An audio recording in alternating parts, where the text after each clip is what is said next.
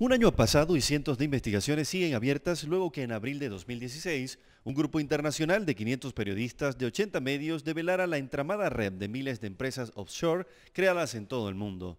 11.5 millones de documentos se filtraron de la firma Mossack Fonseca, cuyos dueños están en prisión preventiva al descubrirse que facilitaban la creación de empresas para ocultar dinero y bienes. El escándalo salpicó a artistas, deportistas, políticos y empresarios de todas partes. Así se descubrió una práctica globalizada que también manchó a bancos y abogados.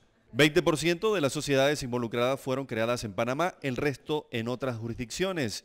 A pesar de esto, el caso afectó el nombre del país, que originó repercusiones desastrosas para la economía de servicios panameña consecuencias que le tocó sortear al gobierno del presidente Juan Carlos Varela, quien primero creó un comité de expertos liderado por el Nobel de la Economía Joseph Stiglitz, quien meses después renunció por falta de transparencia.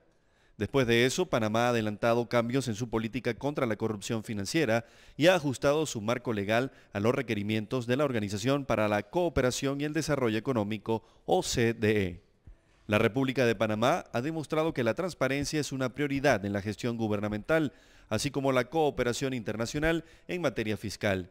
Y hoy día el país no cuenta con ningún compromiso pendiente en cuanto a estándares internacionales en la materia.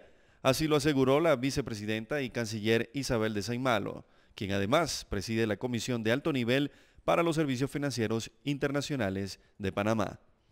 Panamá ha enviado su aplicación al proceso de revisión abreviada Fast Track, que permitirá corregir ahora la calificación recibida recientemente y que no sea considerado en las listas de paraísos fiscales que tanto el G20 como la Unión Europea emitirán el próximo año.